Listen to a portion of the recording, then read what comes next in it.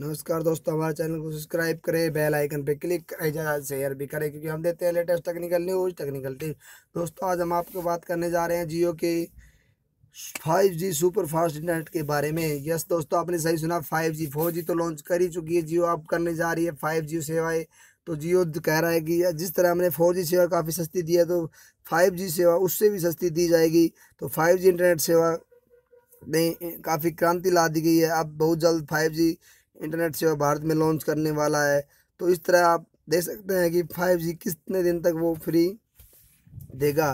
तो five G का जो नेटवर्क है, वो जियो का, वो फोर जी से काफ़ी सस्ता पड़ रहा है। इसलिए आपको फोर जी फाइव जी पड़ेगा फोर जी से सस्ता।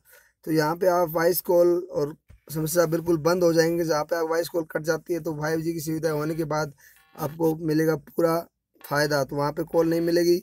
और फाइव जी की जो स्पीड है फोर जी से काफ़ी कई गुना अधिक होगी। और क्या होगी कीमत? दो सौ रुपये में सत्तर दिन, सत्तर डेज़ की वैलिडिटी सुनने में आ रहा है जियो की तरफ़ से।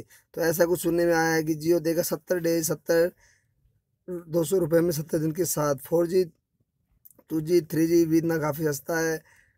लेकिन फाइव जी फोर जी की तुलना में अधिक सस्ता होगा, क्योंकि फोर जी की में अधिक एडवांस टेक्नोलॉजी थी, लेकिन अब ग्राफ दो हज़ार उन्नीस में शुरू होगा फाइव जी तो इस तरह आप देख सकते हैं रिलायंस जियो लेके आएगा फाइव जी डाटा मुफ़्त उपलब्ध करा सकता है, जिस तरह आप जियो ने फोर जी डाटा उपलब्ध कराया था।